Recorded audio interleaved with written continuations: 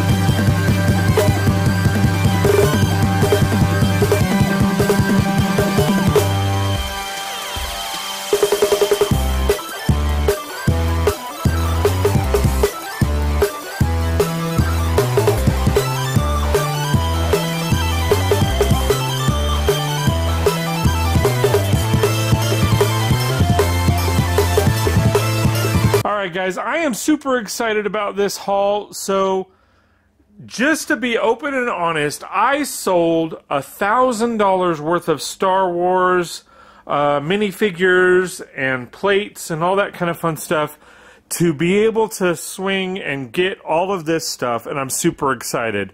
So let's go ahead and take a look at my most recent haul. So this set right here, 31131, the Downtown Noodle Shop.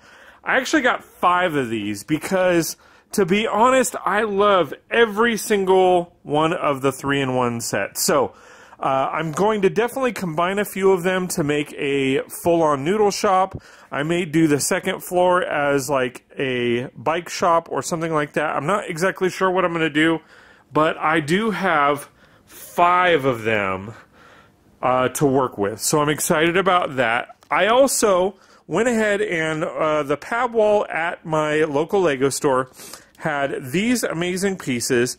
Super excited about that. Not exactly sure what I'm going to do with those, but it, definitely excited about those. And then I am always running out of these clips, and I, I actually should have gotten more than one and a half cups, but I saw these and I run out of them like crazy, and so I, I went ahead and got a couple of those. Within this, I also got the two VIP Pirates Treasure VIP add-on packs, which was really cool. At the Pick a Build, I got these uh, pieces right here. So uh, a couple of these are different things, uh, but there's some uh, Scout torsos, which Looks like one is missing a hand. Uh, I also got some Letterman jacket torsos, which were pretty cool. I got some printed pieces.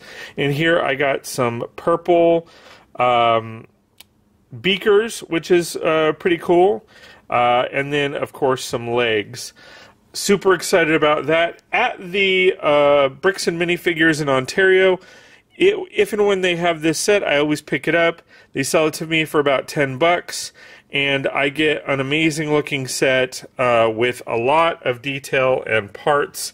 This is probably like my 15th version of this that I have. I have a bunch more over there still that I haven't even built, but I love the pieces. I love everything about this set, and I always pick it up for the pieces. They also had uh, this amazing uh, Coast Guard boat. I actually haven't seen this co- Coast Guard boat. So when I saw that, I was like, I have to get that. Uh, so I went ahead and added that on. They also did have the minifigures uh, laid out in their um, case. So I ended up picking up two reindeer, a black cat, which I'm going to put in my zoo. The reindeer I'm going to also put in my zoo uh, because I have reindeer in it. I have a black cat um, for like Black Panther. Uh, I really liked this uh, like Titanic type boat uh, from the CMFs, so I liked that. Got three popcorn people, uh, and then this is kind of going to be my lion. Um, until they come out with a lion person, I decided to get her for the lion for my zoo, and then of course I got a llama. I do have some llama in my, or for my zoo, but I'm trying to figure out how to clinch them in or clutch them in because for whatever reason they're not clutching properly. Uh, then coming over here, I got this uh, Bond It's the Aston Martin DBS uh, Speed Champion set from 007. Uh, I really like how it looked. I think it would go great in my city streets. Then from there, I picked up one of the Guardians of the Galaxy Holiday Special Advent calendars. So stay tuned for uh, me opening that in the December uh, months or month. Then, of course, I got two Sanctum Sanctorums.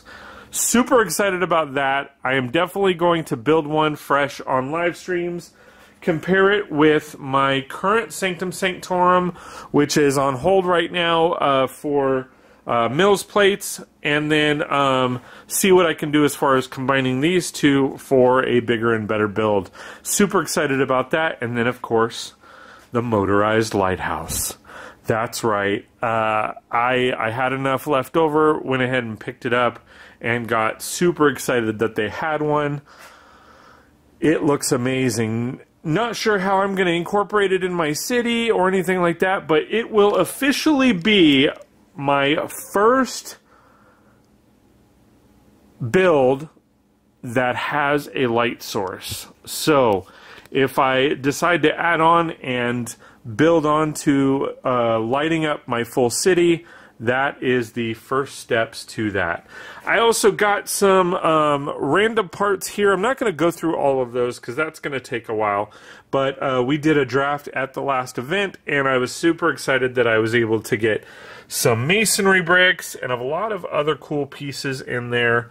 Uh, so yeah, definitely excited. So again, I traded in a thousand dollars worth of Star Wars minifigures the Rancor and all of that, plus some base plates and a few other things to get this massive haul.